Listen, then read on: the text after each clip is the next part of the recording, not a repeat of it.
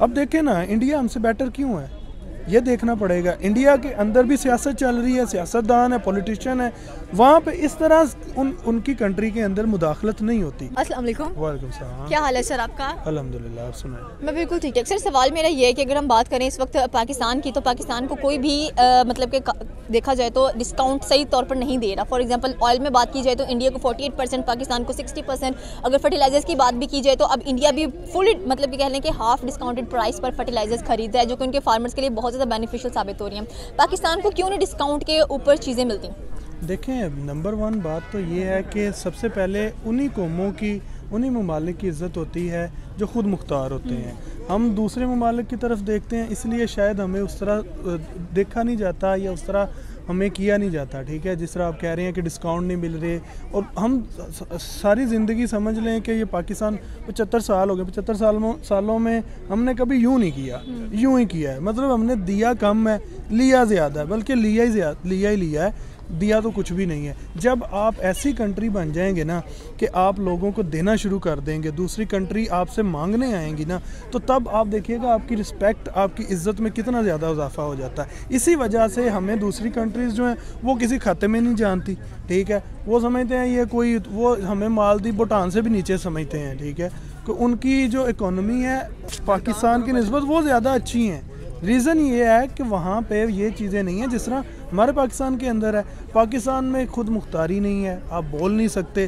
तो राइट्स ख़त्म हो गए हैं। लोगों के राइट्स तो छोड़ें। आप जो ये सोसाइटीज़ बैठी हुई हैं, इनके राइट्स ख़त्म होते जा रहे हैं। इनको बोलने की आज़ादी नहीं है। तो यही वजह होती है कि आपकी जो कंट्री है, वो नीचे आती है और दूसरी कंट्रीज़ जो हैं, वो आपके ऊपर मुसलत होना शुरू कर देती हैं। तो क्या करना चाहिए हम लोगों को इस चीज़ को लेकर हमारे सियासतदानों बदल, लोग कहते हैं कि वो बदले, उनको बदलना चाहिए। तो कब तक वो नहीं बदलेंगे? कब तक ऐसे ही हर एक चीज़ चलती जाएगी? देखें जी, ये तब तक नहीं बदलेंगे, जब तक हम नहीं बदलेंगे। जब तक आवाम नहीं बदलेगी, हम अपना हक लेना जानेंगे नहीं जब तक, तब तक हालात नहीं बदल सकते। आप खुद अंदाज़ा लगा लें कि इस मुल्क में ये वाद कंट्री है जिसमें तीन मार्शल लग चुके हैं, ठीक है? कहाँ कितनी आवाम निकलती है? वो गैर आइनी काम होते हैं, फिर भी लोग नहीं निकलते बाहर। हमें बाहर निकलना चाहिए, एहतजाज करना चाहिए और सबको निकलना चाहिए। ये नहीं है कि अगर मेरे घर में आटा है, चीनी है, दाल है तो बस ठीक है जी, मैं सो रहा हूँ, कोई मसला नहीं है। आप लोगों ने उन लोगों के लिए निकलना है कि जिनके पास दो वक्त खाने की रोटी नहीं है ठीक है? जब आप निकलेंगे एक दफ़ा चाइना में ऐसा हुआ था कि ये जो शुगर है ना इसकी वो कमी हो गई थी। लोगों ने ब्लैक करना शुरू कर दी थी। पूरी की पूरी कंट्री बाहर निकल आई थी। हम्म। उसके बाद से आज तक उनकी कंट्री के अंदर ऐसा कोई इशू नहीं हुआ ठीक है? यही वजह है कि हम लोग अपना हक लेने के लिए भी खड़े नहीं होते। हम सोचते हैं यार ठीक है मेरे मेरा काम चल रहा है तो बस ठीक है दुनिया जाए बाहर में। सही हो गया। तो लास्ट क्वेश्चन मेरा ये है कि तो इंडिया को प्रायोरिटी देने की क्या वजूहत है? नहीं इंडिया को प्रायोरिटी नहीं दे रहे। हम अपने आप को कह रहे हैं कि हम जब तक ठीक नहीं होंगे अब देखें ना इंडिया हमसे बेटर क्यों है? ये देखना पड़ेगा। इंडिया के अंदर भी सियासत चल रही है सियासतदान है पॉलिटिशियन है। वहाँ पे इस तरह उन उनकी कंट्री के अंदर मुदाखलत नहीं होती हम्म। जिस तरह हमारे अंदर होती है। दूसरी बात है उनकी इकोनॉमी चेक करें आप हमारी इकोनॉमी उससे कहीं नीचे है। ठीक है? जब हम उस लेवल पर आएँगे हमें सिर्फ़ हम नहीं पूरी दुनिया प्रायोरिटी पे रखेगी। हम अपनी तरजीह, हम अगर हमारे मुल्क की तरजीह ठीक हो जाएँगी तो हमें भी लोग जो हैं वो अपनी फ़र्स्ट प्रायोरिटी पे रखेंगे। हमें फ़र्स्ट प्रायोरिटी पे रखा नहीं जाता। हमें तो पता नहीं कौन से हज़ारवें नंबर पे रखा हुआ है। दुनिया ने कि ठीक है जी, आ गया तो आ गया, ना आया तो ना सही, ठीक है? इंडिया इसलिए आ गया है कि वहाँ पे जो हमारे यहाँ जो चीज़ें हो रही हैं ना, वहाँ पे वो चीज़ें नहीं हो रही। वो कम है। हो रही हैं, वो मुसलमानों पे जुल्म कर रहे हैं और बेशुमार चीज़ें हो रही हैं। लेकिन जिस तरह हमारे मुल्क में हो रहा है, हमारे मुल्क में हमें पता ही नहीं है कि हमारा लीडर कौन है।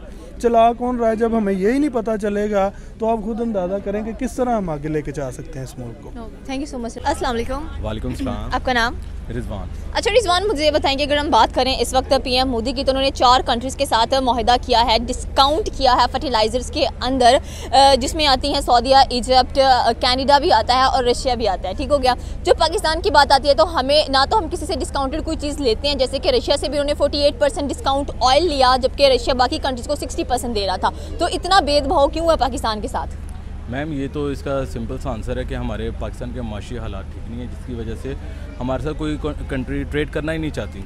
और उसकी जो मेन रीज़न है, वो हमारे हुक्मरान हैं। और ये लोग पाकिस्तान की मीशत की तरफ़ देख नहीं रहे, आपस में एक दूसरे को चोर चोर, एक दूसरे की टांगी खींचने में लगे हुए हैं। और जिसकी वजह से हमारे मुल्क की जो मीशत है, वो दिन ब दिन डिसक्वालीफाई होती जा रही है।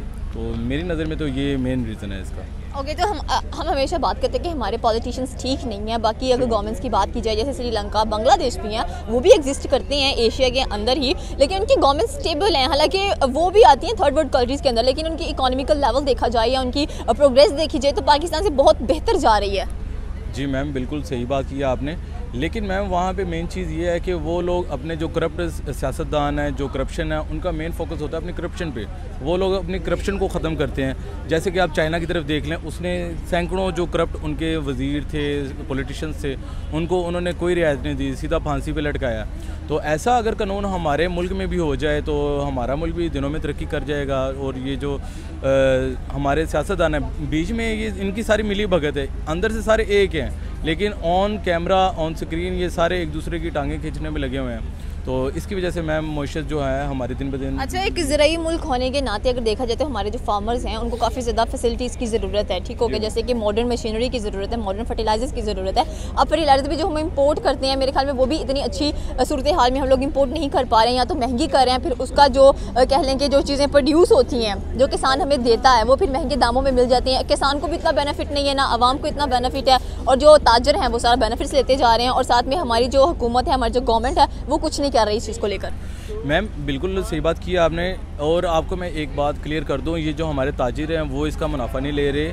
वो बिल्कुल इस महँगाई में पीछे जा रहे हैं। हमारे ताजिर भी और हमारे जो किसान भाई हैं, वो भी।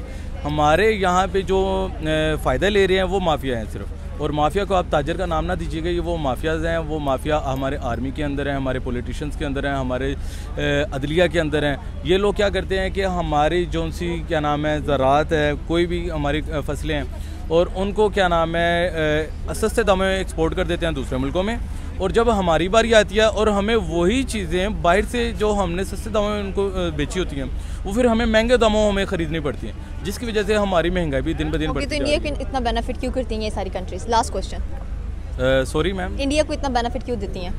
मैम इसी वजह से बेनिफिट्स उनको मिलता है कि उनके जो रूल्स हैं उनकी जो माशी पॉलिसियाँ हैं वो हमसे काफ़ी कदरे बेहतर हैं जिस वजह से। थैंक यू सो मच अस्सलाम वालेकुम आपका नाम हारून अच्छा हारून मुझे बताएँ कि अगर हम इस बात करें नरेंद्र मोदी की तो चार कंट्रीज़ ऐसी हैं जो नरेंद्र मोदी को फुल डिस्काउंटेड फर्टिलाइजर्स प्रोवाइड कर रही हैं यानी कि उनके फार्मर्स को मजीद ज़्यादा बेनिफिट्स दिए जा रहे हैं अगर पाकिस्तान के फर्टिलाइजर्स की बात करें या फार्मर्स की बात करें तो इतना ज़्यादा फैसिलिटेट नहीं नज़र आ रहे होते फार्मर जोन से ठीक हो गया और ना ही कभी हमें किसी ने इतना डिस्काउंट दिया है स्पेशली फर्टिलाइजर्स के ऊपर हमें तो पेट्रोल पर नहीं मिलता तो फर्टिलाइज़र पर कैसे मिलेगा क्या वजूहत हैं वजूहत यही है कि हमारे दूसरे मुल्कों के साथ वो नहीं है, बंदे बंदे के आगे हमने हाथ फैलाया हुआ है, ठीक है? हर बंदे से मांगते हैं जाके तो हमारी एक वो इज़्ज़त तो नहीं है कि कोई हमें इस तरह से फैसिलिटेट करे। तो बाकी वो इंडिया जो है, उनका इकोनमी कितनी कि स्ट्रॉन्ग है कि वो किसी के साथ भी तजारत कर सकते हैं। और हमारे अंदर वो चीज़ें नहीं हैं अभी तक कि हम किसी के साथ जाके बात, बैठ के बात भी कर सकें। हमारी तो अपने खाना पीना नहीं पूरा हो रहा था, हमने किसी के साथ तजारत क्या करनी है? तो मेन वजूहत यही है कि जब तक हम खुद को डेवलप नहीं करेंगे आगे नहीं बढ़ेंगे तो मेरा नहीं ख्याल कि ये चीज़ें आएँगी। सही हो गया अच्छा हमारे पॉलिटिशियंस प्रोबेबली सारे यही कहते हैं कि वही जिम्मेदार हैं इन सारी चीज़ों को लेकर क्योंकि उन्होंने रिलेशन अच्छे डिवेलप नहीं किए। अभी भी अगर रिलेशन डिवेलप नहीं कर पा रहे वो लोग तो फिर हम वोट किस बात पर कास्ट करने जाएँगे? देखें वोट तो अल्टीमेट एक जो है ना वो अपने पर कर्ज होता है वो किसी ना किसी को तो देना ही होता है ठीक है? वोट ना देना भी एक गुनाह है हम्म। ठीक है? अपना जो नुमाइंदा है वो चुनना आपका हक होता है जो आपको बेहतर लगता है। ठीक है उसको वोट लाजमी दें ये नहीं है कि वोट नहीं देना।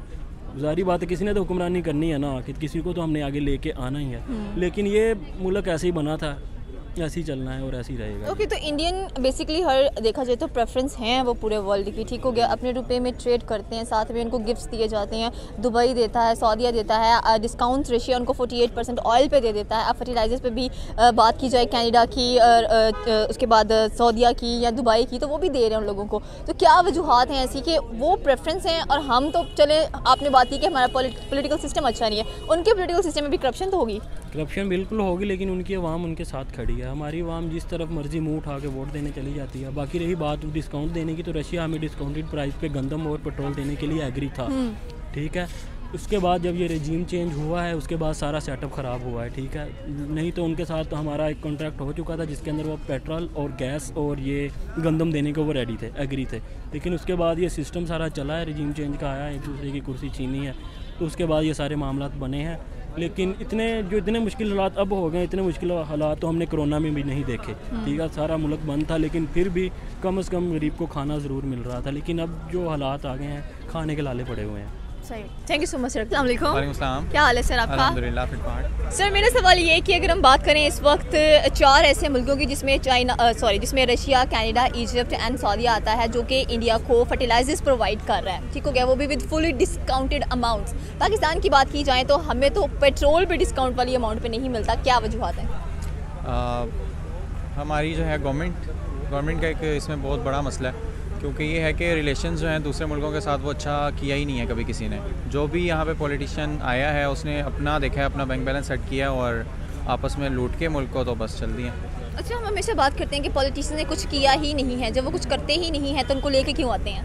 यही तो सबसे बड़ा मसला है। अवाम जो है जिनको पैसा खिला दिया जाता है या थोड़े से पैसों के लिए जो बिक जाते हैं वो उनकी स्पोर्ट में आ जाते हैं। और अब जैसे देखें कि पास में काफ़ी सारे इस तरह के मसाइल हुए हैं और हर चीज़ एक एक खुल के लोगों के सामने है लेकिन अवाम फिर भी अंधा ट्रस्ट करके तो उनके पीछे ही चल रही है। और दूसरी बड़ा जो है इशू अवाम का भी है क्योंकि अवाम लॉयल नहीं है। हम्म। एक तो मुल्क के साथ भी लॉयल नहीं है और पॉलिटिशियंस के साथ भी लॉयल नहीं है। अगर तो हम ये भी देखते हैं कि इमरान खान ने अगर कोई काम किया भी है तो उसके साथ आवाम नहीं खड़ी हुई आधे से ज़्यादा पाकिस्तान ने तो उसका साथ नहीं दिया। तो ये है कि ये सारा मिल मिला के करने वाला काम है क्योंकि जो सत्तर अस्सी सालों से अगर पाकिस्तान स्टेबल नहीं हुआ तो अब सारे मिलके करेंगे तो होगा। इस तरह से एक बंदे का तो ये काम नहीं है। ओके okay, तो इंडिया के साथ इतने ज़्यादा सपोर्टर्स क्यों हैं? क्यों इंडिया को इतना सपोर्ट मिलता है? इंडिया के साथ इसलिए सपोर्टर्स हैं कि उनकी एक तो एजुकेशन सिस्टम बहुत हाई लेवल का है। पढ़े लिखे लोग हैं और इन्वेस्टर्स बहुत ज़्यादा हैं और बहुत अच्छे बड़े बड़े इन्वेस्टमेंट करने वाले हैं। और दूसरा, उनकी मैन्युफैक्चरिंग सबसे मेन जो चीज़ है कि वो अपनी है। उनको किसी दूसरे मुल्क से कोई चीज़ मंगवाने की या देने की ज़रूरत नहीं पड़ती। वो अपना ही बनाते हैं, अपना ही सारा काम करते हैं। इसलिए दूसरे ममालिक जो हैं वो वहाँ पर इन्वेस्ट करते हैं। तो ये एक बड़ी वजह है कि जब वो वहाँ पे इन्वेस्ट करते हैं तो ज़ाहरी बात है कि उनके साथ उनके रिलेशंस भी अच्छे होते हैं। पाकिस्तान में कोई इन्वेस्टर्स इतने ख़ास नहीं हैं और रिलेशंस इस वजह से ही दूसरों के साथ अच्छे नहीं हैं कि हमारे क्योंकि आपस में ही नहीं बनते तो हम दूसरों, बाहर वालों के साथ क्या अच्छा बनाएँगे link thank you so much